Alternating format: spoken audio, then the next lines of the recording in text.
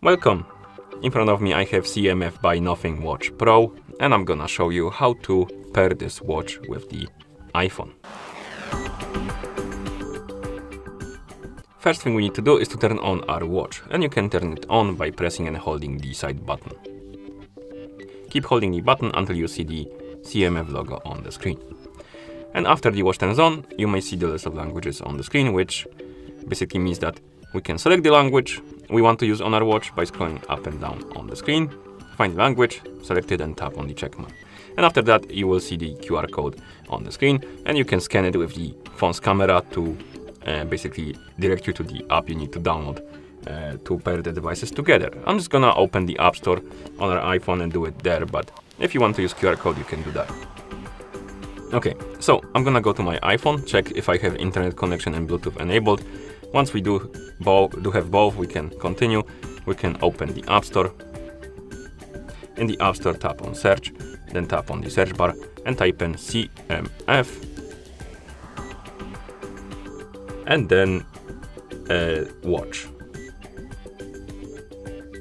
CMF Watch. Uh, I typed it wrong, my bad.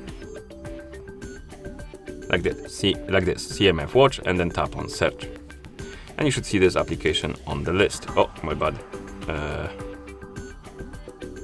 right here. You should see the CMF watch on the list of apps. Tap on it to select it, then tap on the get button to download and install it. I need to confirm that it's my account, so give me a couple seconds. Okay, and the application is downloading, so let's wait until it's done.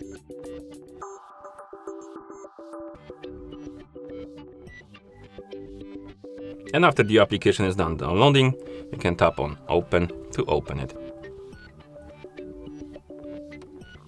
In the app, you will see the login page. So basically we need to log in into a Nothing account. If you don't have an account, you can use the button or the tap on the register button to make a new one, or you can use the sign in with Apple or sign in with Google to log in with the third party accounts if you want to. I already have an account, so I'm gonna tap right here to enter the email address and password.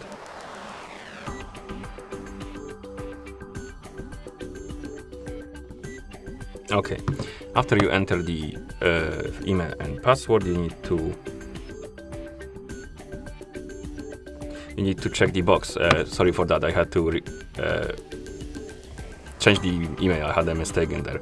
So you need to check the box at the bottom of the screen, like that, and then you can tap on login uh, to log in. And after you log in, you will see a couple pop-ups about permissions. You can allow them or deny them. For example, location permission, Bluetooth permission. I recommend to allow it. This one is quite important. Uh, and next we have the ability to track the apps. I'm gonna ask not to trap, track rather, my bad. And after the uh, permissions are, are, you're done with the permissions, the pop-ups are gone, you should see the homepage of the app. Now we can tap on device icon, tap on add device, and the apps will start searching for the nearby devices and it should detect your watch. You can tap on it, tap on the check mark, tap on pair, allow OrdenID permission for the notifications. This is not required, but if you want to receive the notifications from your iPhone on the watch, allow this permission. If you don't care, you can deny it. Then you can tap on try out, and you should see your CMF watch on the device page right here.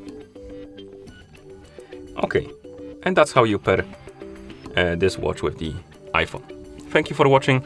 If you found this video helpful, please consider subscribing to our channel and leaving a like on the video.